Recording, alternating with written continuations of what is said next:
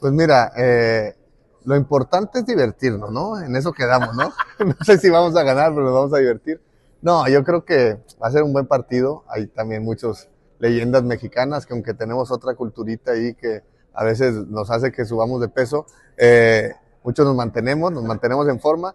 No estoy en mi mejor momento, tengo mucho de no jugar fútbol, eh, pero, pero yo creo que va a ser una experiencia muy padre estar jugando contra ellos. Me tocó jugar contra, en contra de Terry en el Mundial de Clubes.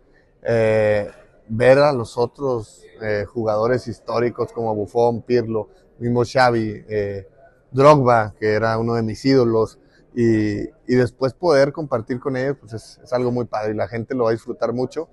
Pero confío en mi equipo, confío en los mexicanos, en las leyendas.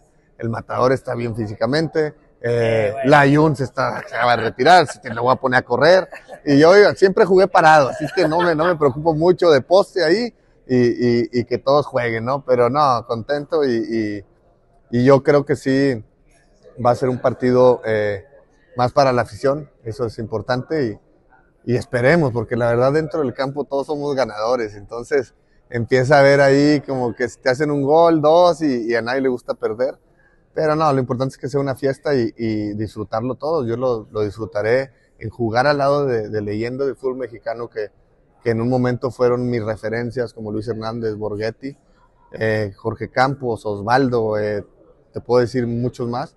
Y después compartir con ellos, ¿no? Ya sea de rival o en selección. Y, y después llegar a esos niveles, no tanto como esos monstruos, pero, pero estar ahí, ¿no? Peleando en selección nacional, jugar eliminatorias, ir a mundiales de clubes ser un referente del fútbol regio como regiomontano me da mucho orgullo y, y, pues qué mejor con esta fiesta, ¿no? Que se viva aquí en la, para mí, en la plaza más pasional que existe en México para mi gusto. Mañana